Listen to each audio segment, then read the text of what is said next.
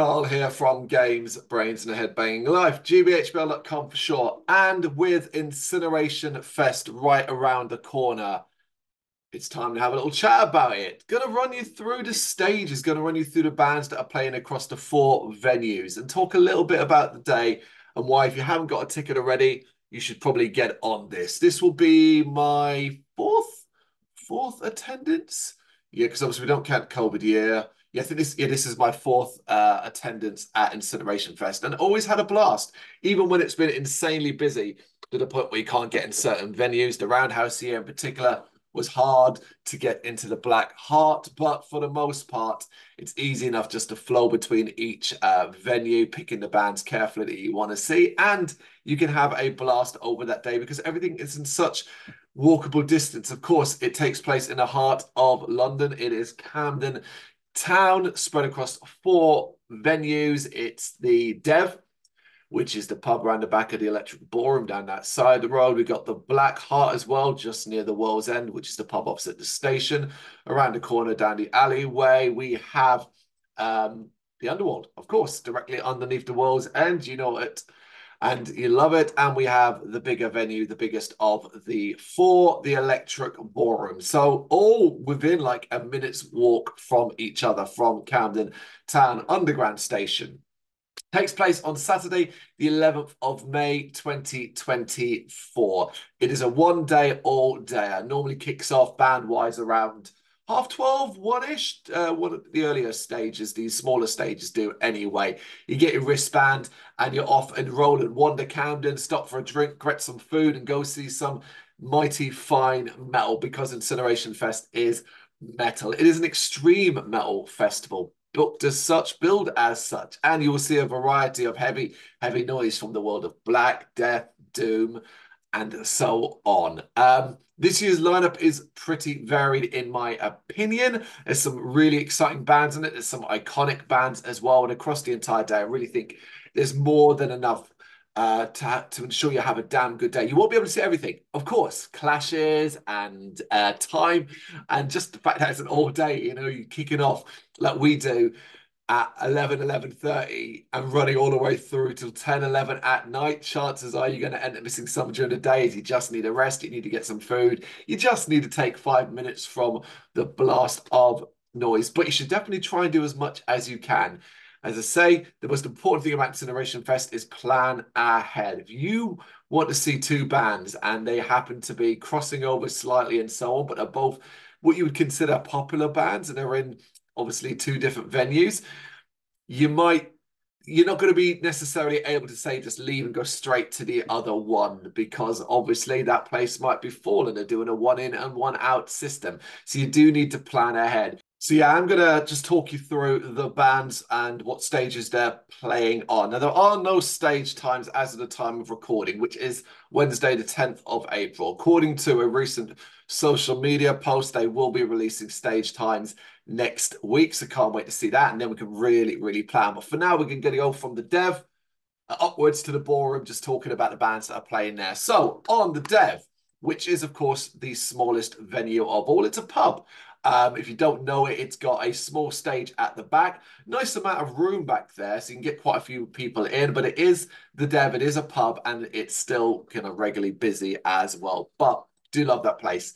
Just if you do get close to that stage, make sure you got some form of earphones, headphones in, sound deaf, you know, uh, sound dulling because that place can be deafening. We have on that stage Slimelord, Malediction, Vacivus, Anakim, Lost Brethren, and Corpsing. That is a really strong stage, in my opinion.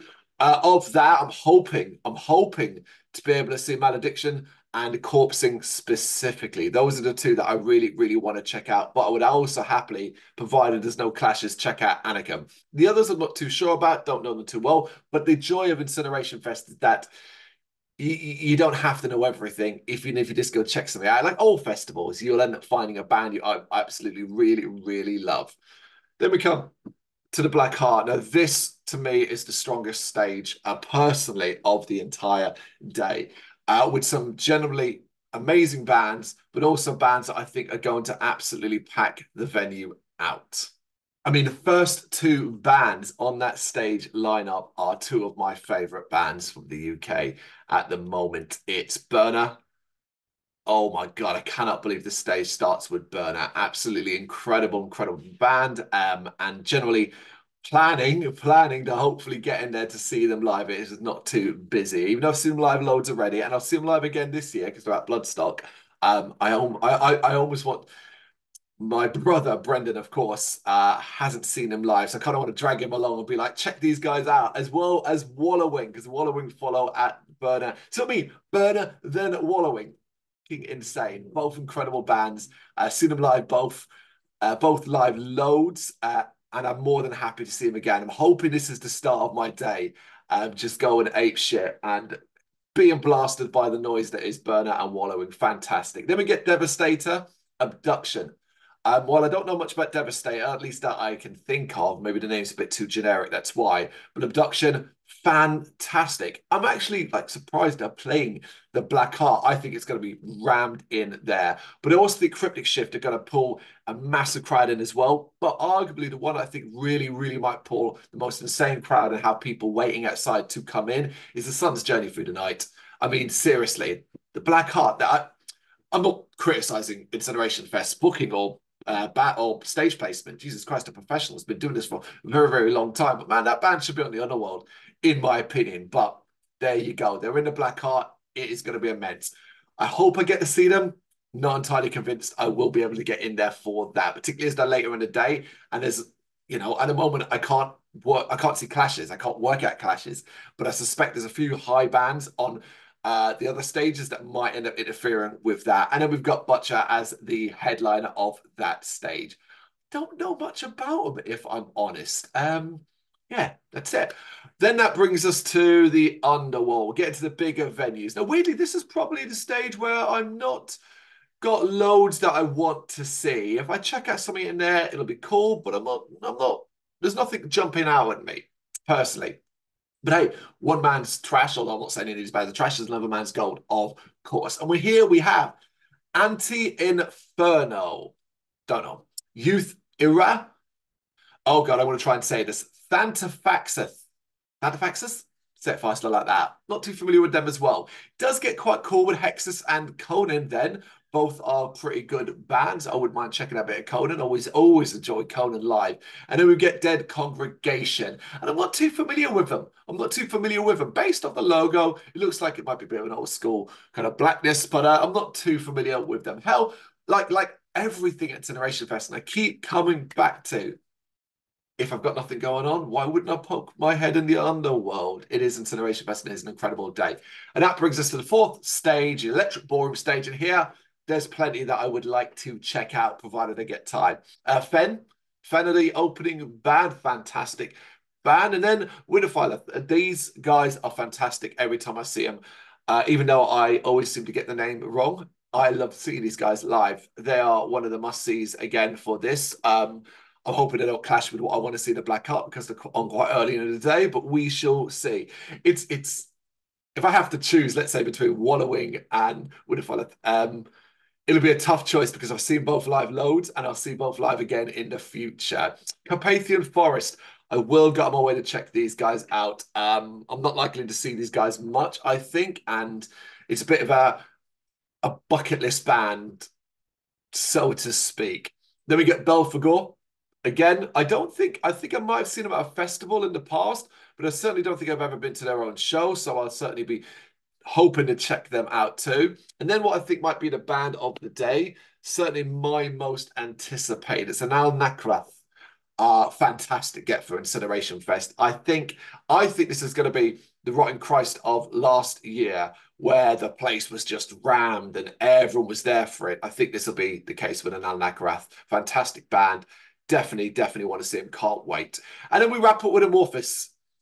Um, if it was me, it'd be the other way around. I'm telling you right now, uh, I like Amorphis, but I am not that hot on them. And I kind of see my night not necessarily wrapping up, but certainly maybe, maybe this be an example of where I wander over and check out Dead Congregation in the underworld rather than watch Amorphis. I'm not sure on that.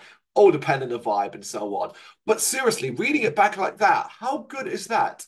Three out of four of the stages have several bands I really want to see. The fourth stage has a couple that I'm interested in seeing.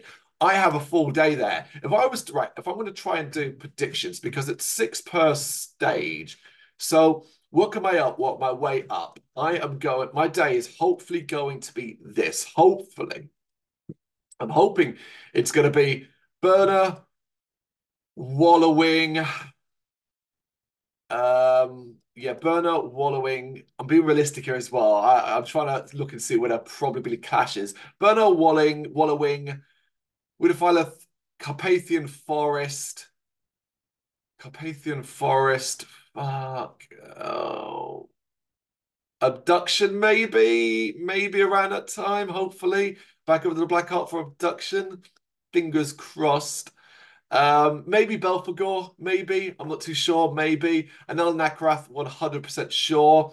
Possibly if they're not clashing, but they look like they might based off the fact they're in the same position. Conan and the Underworld. Um, and maybe the Sun's Journey Through the Night. I could see all of them being on around the same time. So I'm not very hopeful to uh, see all of that. Maybe, hopefully, then Corpsing. Corpsing in the Dev might be how I wrap things up, and or Dead Congregation in the Underworld. Not a bad day, you know. Incineration Fest. If you can get, if you can get five or six bands under your belt, um, across the day. You've you you you've you've earned back the ticket price alone. Um, so if you do seven or eight, I mean, congratulations if you're able to do that, of course, as well. And if you're able to do even more than that, then incredible. It's running back to venue to venue to venue. Um, but I can't wait. I cannot wait for this. This has become one of my favorite days uh, of the year, one of my favorite one day festivals. And I love that we have in London because we have so many great one dayers happening all over the country, but not enough in London. So the Sea Incineration Fest not just thrive, but continue to put on great lineups after great lineups without really compromising their their their their, their credos, their creed. They never. It's always been extreme metal fest, and it continues to be an extreme metal fest. Saturday, 11th of May, 2024. Four venues, Camden Town, London. You're going to have a blast of a day, get to meet people, get to chat to people, have a drink, and just enjoy the life because it's Camden, which is a lively place at the best of times. Come along, still buy a ticket. We'll be there, and hopefully we'll see you down the front, head bang into some of this noise. What do you reckon? What do you think of the lineup? What's the bands that you want to see? Let me know in the comments. Thank you very much for watching. If you'd like to see more content like this, please consider hitting the subscribe button. It is gratefully appreciated. You can find us over at gbhbl.com, our full website where reviews, news, and so much more goes up daily. We're also on all social media platforms Facebook, Instagram, Twitter, Threads, at GBHBL. Just search for GBHBL and you will find us out there. We also have merchandise on sale. You can access the shop via the website.